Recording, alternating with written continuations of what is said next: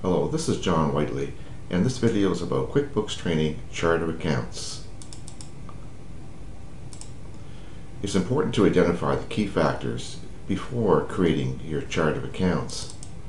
The setup of the chart of accounts in QuickBooks is very challenging for non-accountants as they do not understand the different terms and relationships of the accounts in a bookkeeping system. Let's take a look at the key considerations. Later in the video, we have included a demonstration on how to add new accounts to your QuickBooks, created by QB Learning. It is strongly recommended that you hire the services of a CPA to assist in the creation of your accounts. Watching a 5 to 10 minute video cannot teach you all the factors which will affect the names and types of accounts.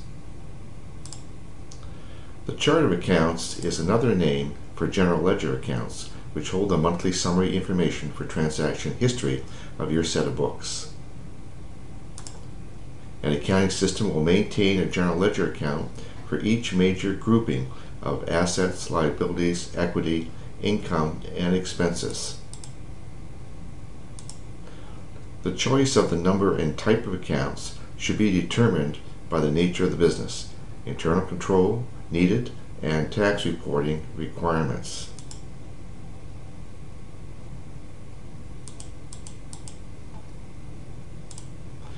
Configuring your accounts to perform with your CPA's year-end reporting should save the accountant time and provide room for you to negotiate a lower accounting fee. This benefit should apply to all sizes of business entities. In order to expedite the creation of your chart of accounts, consider at least one of the following options. Request the customized chart of accounts listing from your CPA. This is recommended. Request a copy of the working trial balance from your CPA, or refer to your year-end financial statements and business tax returns as prepared by your CPA. QuickBooks users sometimes create new accounts with the name of a vendor and post transactions to that account. This is not correct and it appears that the user is confused about the difference between a vendor account and a general ledger account.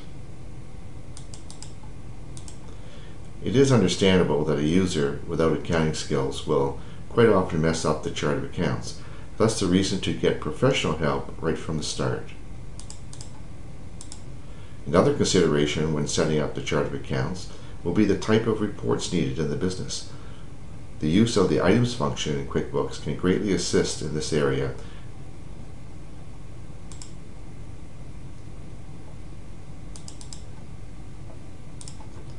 Watch the following clip on adding new accounts to your general ledger, created by QB Learning.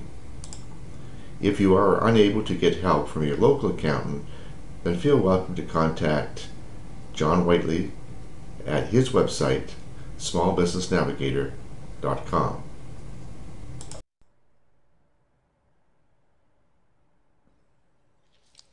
In this training, we're going to talk about how to create a new account in your chart of accounts. All right, so I'm going to go into my chart of accounts here. You can see that the chart of accounts is all your different accounts that go into your business. All right, it's not your items that you use, your items that you sell. It's not the services that you produce, services that you purchase. These are your accounts that make up your profit and loss statement and your balance sheet. Okay, you have your bank accounts, accounts receivable, other current assets, all these different account types, and you can see them here. But how do I create a new one? Come down here under New Account, or you can push Control N. All right, and you choose which account type do you want to create. Is it an income or expense account? Is it a fixed asset account? Notice also that when you click on each of these different buttons, they give you a little summary over here. So what is income? Categorizes money earned. What is a loan? Tracks the principal your business owes for a loan or line of credit. Then there are also other account types. Some people forget that these are hidden under here. So you have an other asset, Again, it gives you some examples of other assets and uh, other income gives you some examples. But we're just going to go ahead and create a new bank account. Okay, so I'm going to say continue here. Again, I do have the option to change if it's a bank account, asset account, income account. So I do have an option to go back and change this if I want to. So I'm going to go ahead and say payroll checking. If it's a sub account, and in another video we talk about headers and sub accounts, so this is a sub-account of cash and cash equivalents, okay, because it is one of the items that, or one of the accounts that I want to roll up the balance into cash and cash equivalents. You can put in here a description. Most of the time people use the same description as the account name. It's not a necessary field either. If you are going to do some online banking connecting with, you can put in here account number, your routing number. Again, this is optional. Then you choose your tax line mapping. What this means is if you use QuickBooks to connect directly to TurboTax, it's going to pull out, oh, cash, this account is a cash account, and which account it should go to on your tax return, which line. If you want to enter your opening balance, you can do that here. I prefer not to enter my opening balance through this way. I prefer to enter it directly in the bank statement and record all, I'm sorry, the bank register and record all of the transactions that happen in the bank. If you want to have a reminder when to order checks, so let's say once you get to check 500, it's time to order, so it'll give you a reminder. And uh, I also, if you want to order checks from QuickBooks, it gives you that option. But let's say we don't want to have this kind of account. We're going to switch it over to an expense account.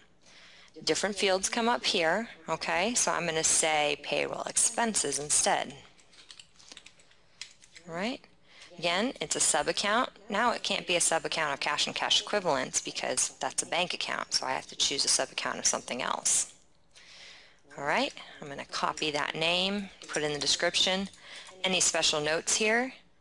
Now my tax line mapping, I have to decide which tax line it should be associated with, and we'll go down here to, let's see, does it have payroll? I can't see it right away, compensation. So let's put it there. And uh, if it's uh, tracking, the ability to track reimbursed expenses, then you can choose that here and put it against, you know, the the income side of it against a different income account.